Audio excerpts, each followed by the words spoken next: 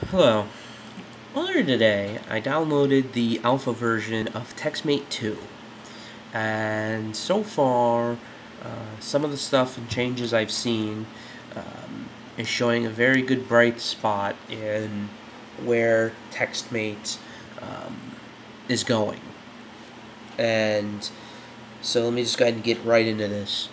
So as you can see, uh, right here, the default screen, I just have an, um, a file open. Uh, this is not the default theme um, as far as the black here. Uh, I've changed that out to uh, be a theme that I, I like.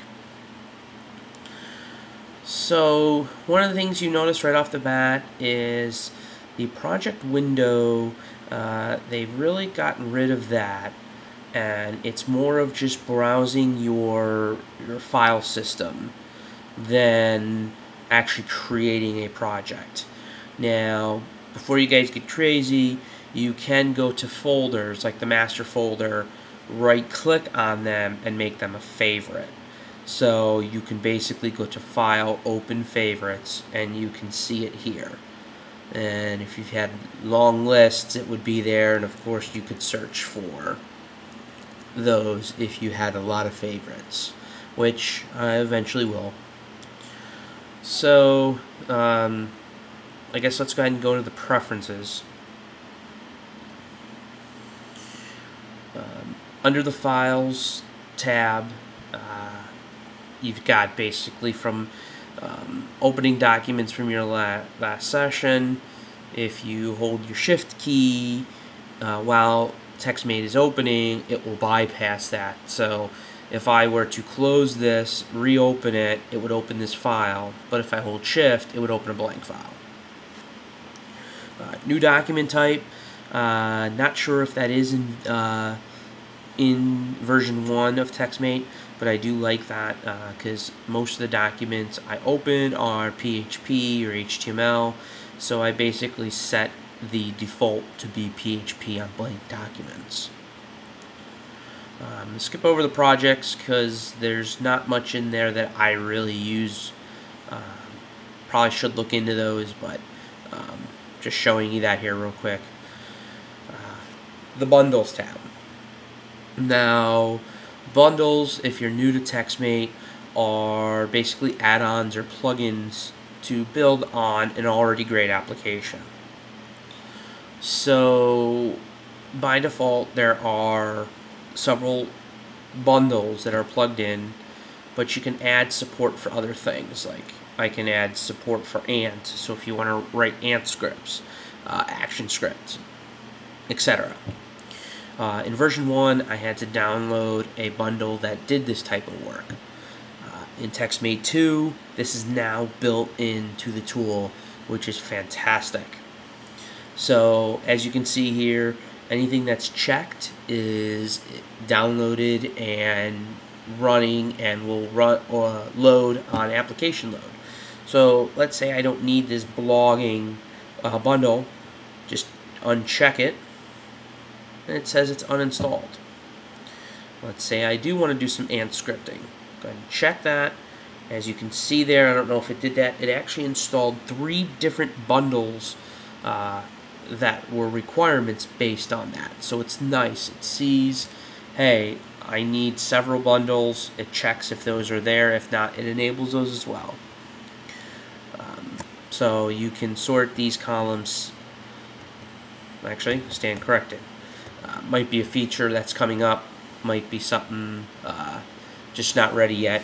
Uh, but because these are clickable, I would assume that that feature will come in where you could sort these uh, you can kind of, they have some nice small categories here.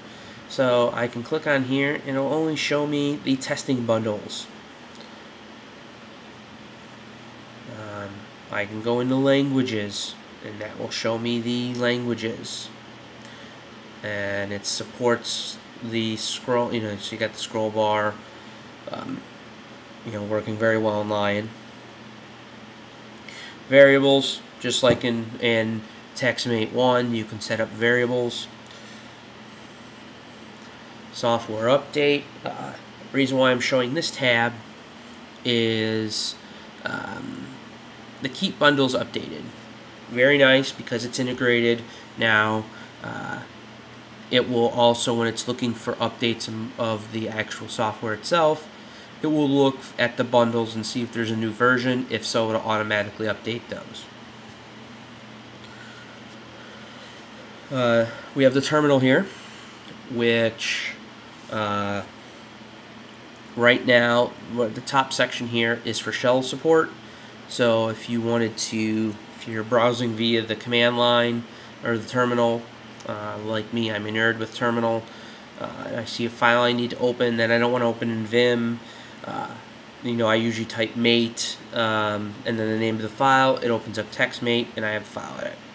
Uh, one of the nice export lines here they show you, they show you how to make this so TextMate could be your editor for your commit messages.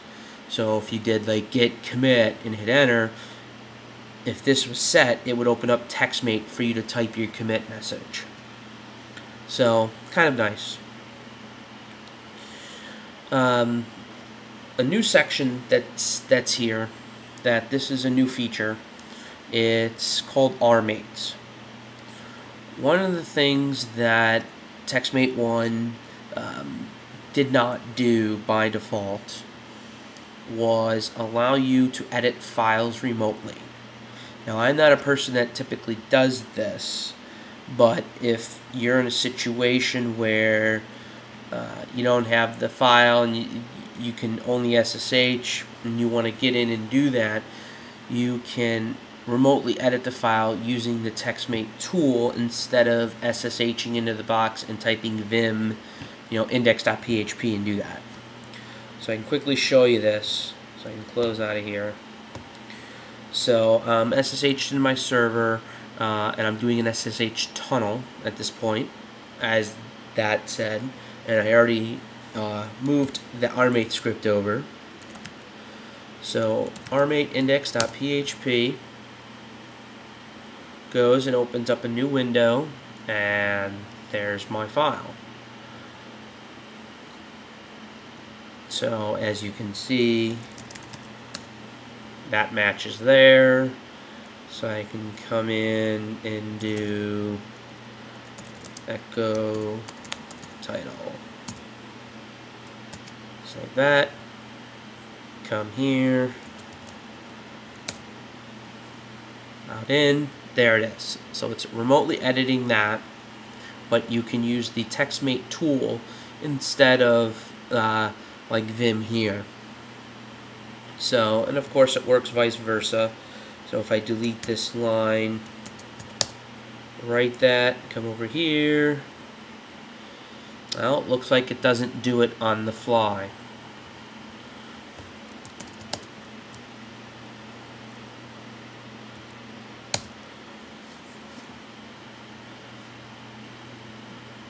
I don't think that's necessarily a bad thing.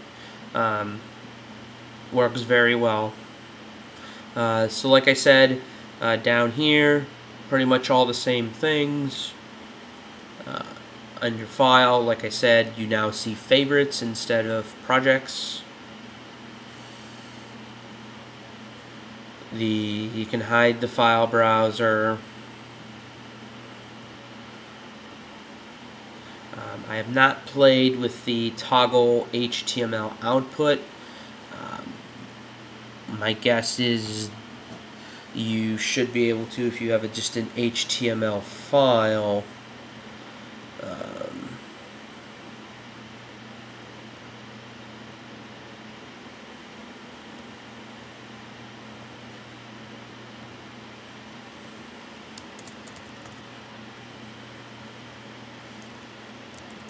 actually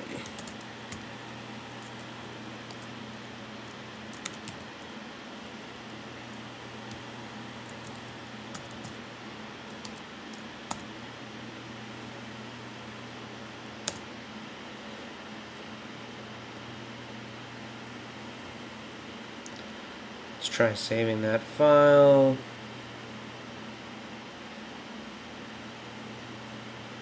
Let's go to desktop and we'll go test.html.